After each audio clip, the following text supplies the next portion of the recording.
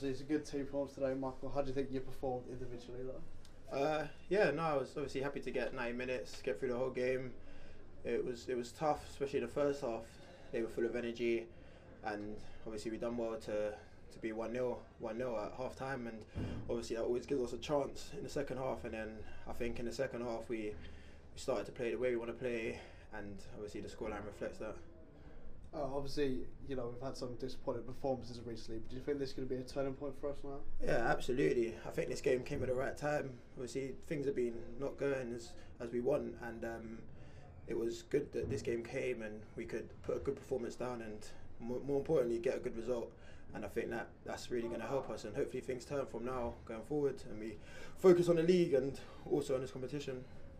Obviously, in the dressing room, is there a kind of feeling that maybe Aldershot could go all the way in the FA Trophy now? Yeah, absolutely. Um, the boys are talking about what it'd be like to get to Wembley, and I know how uh, how much it would mean for this club to get to Wembley. So I think we've got to do all we can in this competition to to try and achieve that. It would be an amazing feeling for, for myself personally, and for for the fans and for the rest of the team.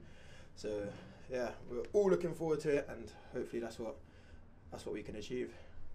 Obviously, this is just the cup. Do you think we'll be able to transfer this to the league going forwards? Absolutely. As I said, that obviously form hasn't been great in recent in recent weeks, but this game came at the right time, and now I think it's going to be a turn in turn in, in our way, and now we can transfer the way we played and the results into across into the league.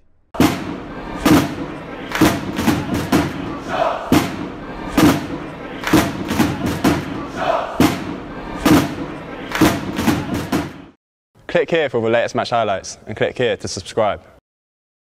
Are you in with a shot? Look below for more information.